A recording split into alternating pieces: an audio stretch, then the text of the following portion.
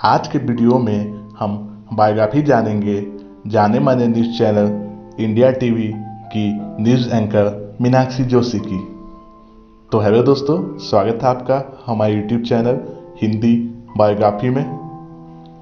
दोस्तों, अगर आप इस चैनल पर नए हैं तो चैनल को सब्सक्राइब कीजिए, क्योंकि मैं इस चैनल पे इसी टाइप की सच्ची मोटिवेटिंग और कुछ अनसुनी कहानी अपलोड करता हूँ।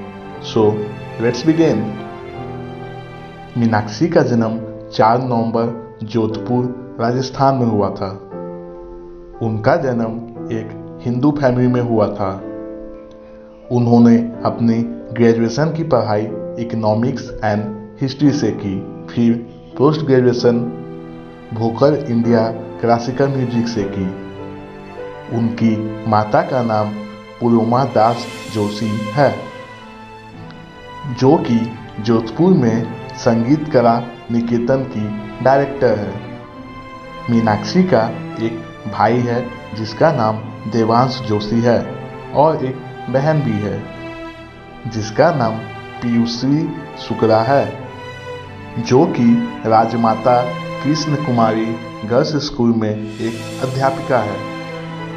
मीनाक्षी ने अपने कैरियर की स्टार्ट एक local cable cable news DG से की, जो कि जोधपुर में है।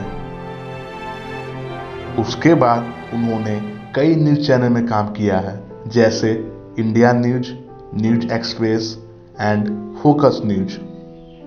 इसके बाद उन्होंने जाने माने न्यूज़ चैनल इंडिया टीवी को ज्वाइन किया और अभी भी इसी में है।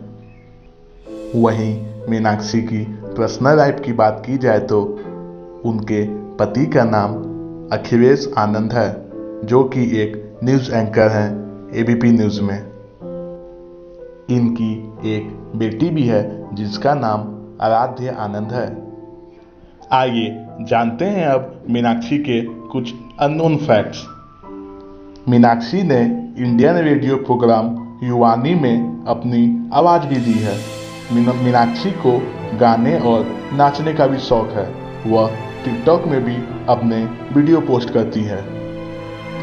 वहीं उनकी दाहिने हाथ में एक टैटू भी है। तो दोस्तों, ये थी मीनाक्षी जोशी की कहानी। आशा करता हूँ आपको कहानी पसंद आई होगी। मिलते हैं नेक्स्ट वीडियो में। तब तक के लिए गुड बाय